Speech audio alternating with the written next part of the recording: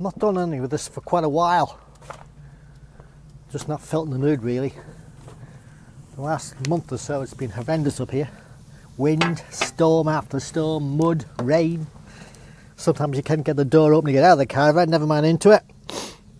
But I think I must be an eternally optimistic individual because today is such a glorious day. It's warm and sunny. I've forgotten about all that rubbish of weather that's gone. So perhaps I am an optimist. Anyway, what should we talk about? My favourite little snack is a satsuma with a cup of tea, of course. And um, today's been a good day, really. Got me washing all done. I've got a new friend called Susan. She's a bit idle, but I'll introduce you to her in a bit. You'll be impressed with.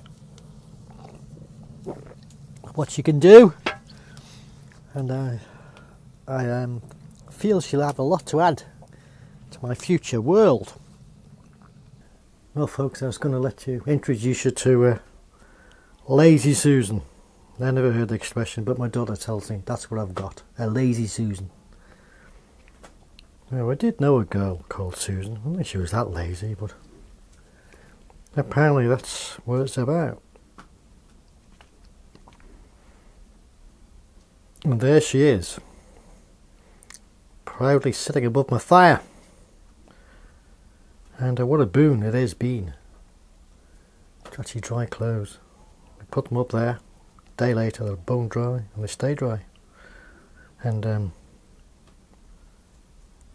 apart from smelling of smoke and a touch of comfort, the place uh, smells of uh, laundry, which is better than it usually smells, I can tell you. My mum had one many years ago. And I saw it advertised, well, I'll get one of those, and it's been a great idea. So that's Lazy Susan, my new accomplice. Sorted out the polytunnel for the ready for the sheep to lamb. Fed the other ones, done all my washing. Took the dog for a walk. Uh, sat down, had my tea.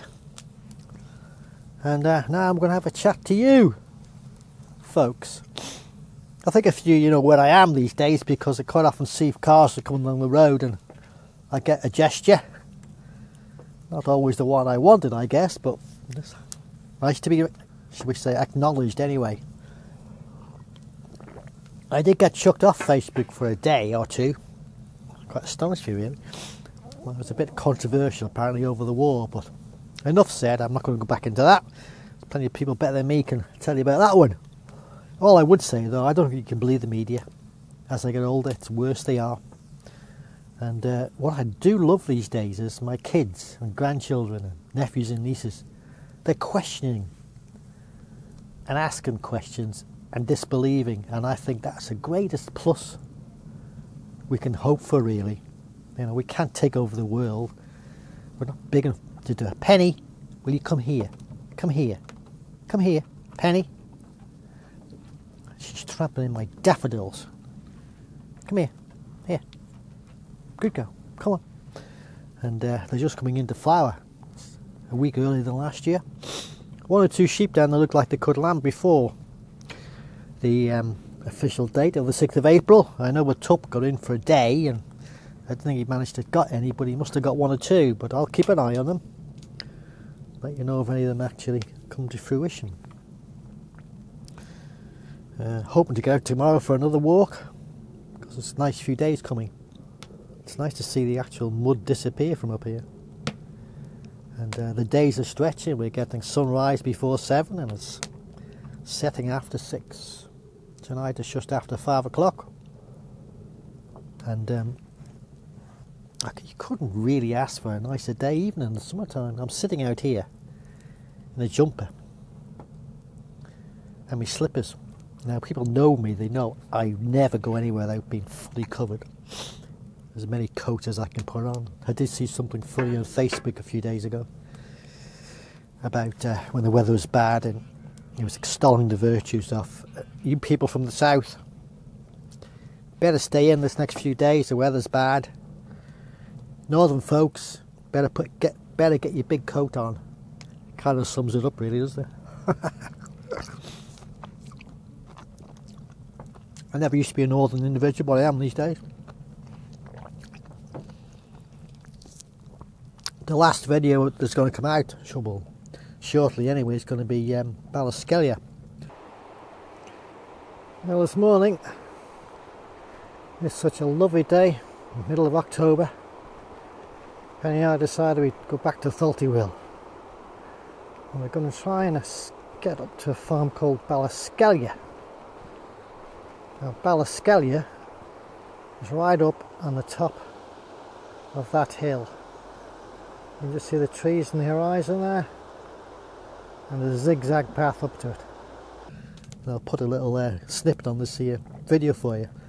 It's up on the top of Tholt-y-Will, my favourite spot. Fair old hike to get to it. And um, I loved the trip up there. It was phenomenal, fabulous. The biggest uh, farm ruin in the Isle of Man, I would say and it stayed had 200 acres under its belt. Managed to get a bit of history of it, some old photos, and my usual inane chat. So keep a watch out for it. If you want to see more, there's about 40 odd videos now on my YouTube channel, and um, I've enjoyed doing them. To be fair, funny you look back at the ones you start with and you realise how lack of confidence you were, or spluttering around rather than just um, coming out with it. As I said, I don't script any of this, it's just whatever comes into my head, really. Um, I am a bit worried about this war. Like most you will be, I'm sure, but is it a smokescreen for something else? Because there are some horrendous tales coming out about COVID and it's the vaccine, what it's done to various people, damage it's done, blood clots and stuff like this. So you do wonder really, is the world run by itself or is it controlled?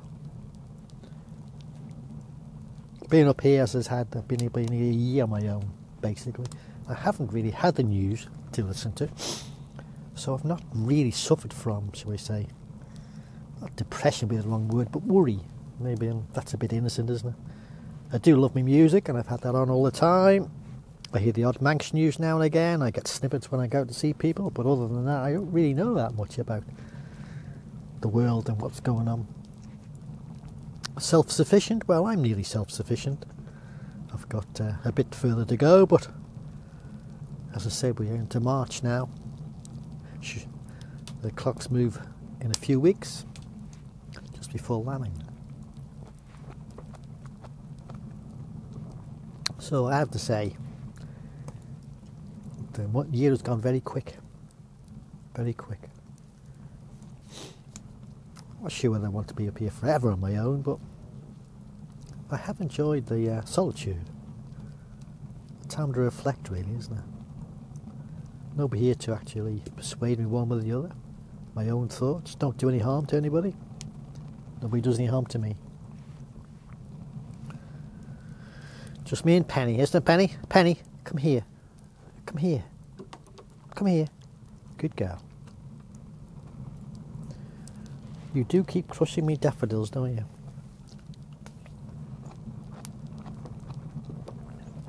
So I thought tonight I'd do a fire, sit outside, watch the sunset.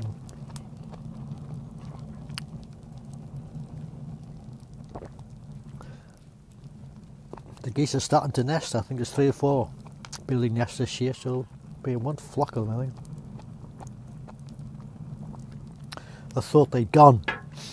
The other day they took off from a long field after a long running, flew up in the air. Round and round they went and landed on the road in front of a car. They must have got the shock of their life. The car stopped and they took off again and flew back over, round and round again, and back in the same field they left from. I have no idea what that's about. Tell you what though, you never get any intruders with those things. They come anywhere near them and they just squawk and squawk. The old rooster's also still alive, which is a shame because he strolls up here every morning to wake me up. we've had one or two sheep casualties, not too many so far, and um, not looking too bad considering the wet and the wind and where we are up here. The new ram has survived the winter well, so hopefully produce some uh, decent offspring for me.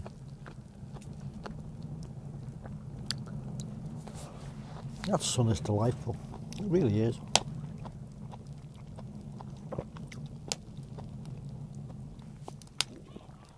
I'm getting my vitamin D today, as they say.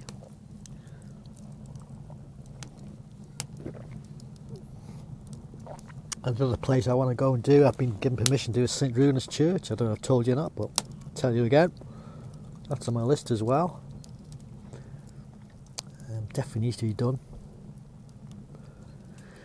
Another little one I want to go down and do is Breck, which is down the bottom of Ballamodha Straight, and uh, Clough Willy, which is up on the top of uh, Stony Mountain. And what I have sort of learned this year from the videos is you've really got to do quite a lot through the summer months because January, February this year and summer December it's been impossible to do any videos. It's either been too wet or too windy. Um, so hopefully we'll get a little bit more put on film, as they say. A lot of, a lot of folks seem to enjoy them, especially people who've left the Isle of Man and want to return. I set out to show places that you wouldn't see normally, and um, done that so far. TT hopefully is going to arrive again this year. I wonder what it's going to be like. I wonder. It's two years since we had it. Two years since we experienced it. I've been on the prom once since it's been done up, and it looks like that would be a place to avoid in TT Fortnight, I would say. Bad enough without anybody being here.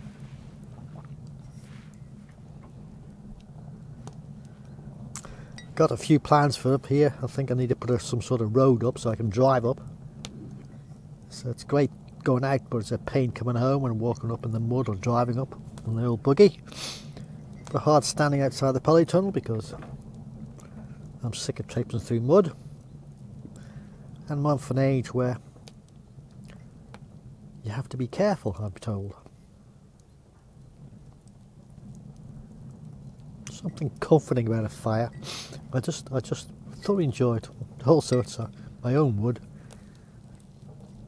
from some trees that fell down in my glen. I love the smell of the wood when it's burning.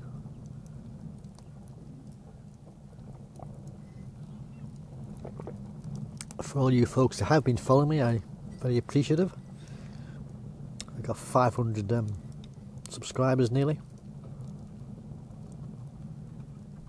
But I'm never going to become earning any money because you have to have millions, and what I do is fairly narrow.